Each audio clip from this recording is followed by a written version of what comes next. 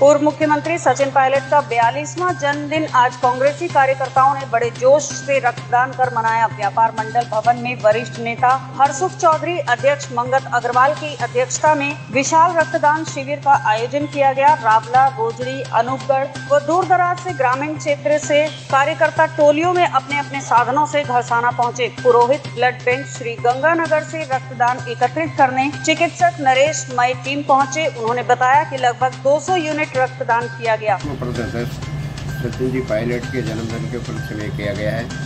ए AICC के सचिव कुलदीप जी इंदौरा के निर्देश अनुसार हमने ये शिविर लगाया है।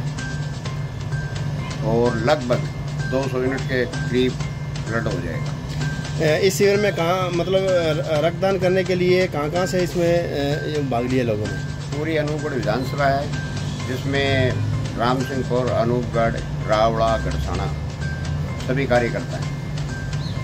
देश के साथ ही आज रक्तदान दिवस के उपलक्ष्य पर आप युवाओं को क्या संदेश देना चाहेंगे? युवाओं को संदेश बढ़ चढ़ के रक्त रक्तदान करें और कांग्रेस से जुड़ें। जो रक्तदान शिविर का जो आपने आयोजन किया है किस उपलक्ष्य में किया है वह मतलब लगभग शाम तक कितना जो ब्लड है यूनिट है जो इकट्ठा ये जो आज रक्तदान का शिविर लगाया ये हमारे कांग्रेस नेता सचिन पायलट के जन्म उपलक्ष्य पे हमने आयोजन किया है। तो इसमें करीब 200 ब्लड की बोतल जो है, करने का हमारा टारगेट है। गरसाना के युवा बढ़ चढ़कर इसमें हिस्सा ले रहे हैं।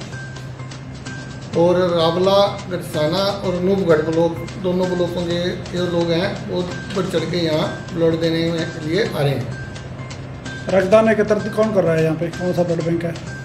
पुरोहित ब्लड बैंक जो है गगन से, वो आया हुआ है और वो ब्लड बैंक से ले रहा है।